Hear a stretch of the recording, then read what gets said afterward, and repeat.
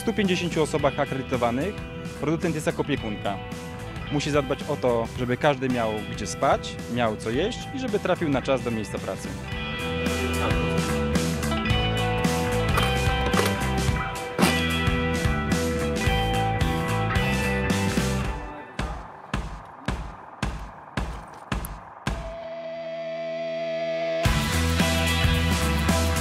Przygotowanie realizacji telewizyjnej z drużynowych mistrzostw E- Europy to jest kilkunastomiesięczny okres pracy całego zespołu. Ostatecznie ta transmisja jest pokazywana przy wykorzystaniu 40 kamer i pracuje przy niej 30 operatorów.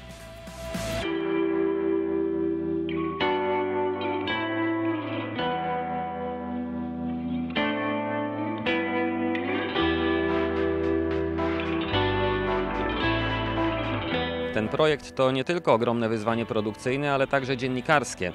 Mamy tu dwóch komentatorów, reportera prowadzącego studio, ale także sześciu wydawców. Każdy odpowiada za inny sygnał.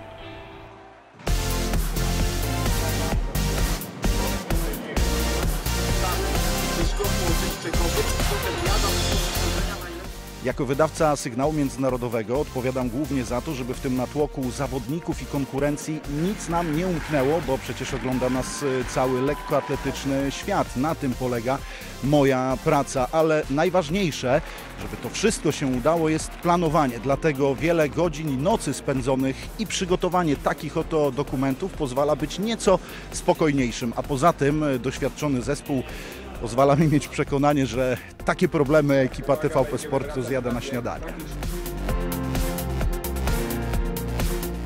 Z punktu widzenia operatora IWS taka lekkoatletyka to jedno z najpoważniejszych wyzwań. Mamy 48 śladów nagrywanych na 8 serwerach, mnóstwo gigabajtów, gigabitów danych, 14 operatorów IWS, żeby pokazać tego typu imprezę.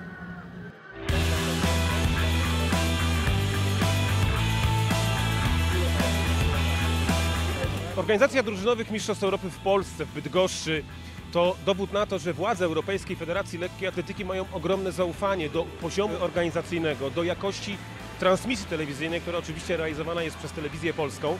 To również dowód na to, że dzisiaj liczymy się na mapie europejskiej lekkiej atletyki. Myślę, że nie bez znaczenia też jest fakt, że polska reprezentacja od wielu lat pokazuje i prezentuje bardzo wysoki poziom sportowy, a tutaj jest jednym z faworytów do zwycięstwa.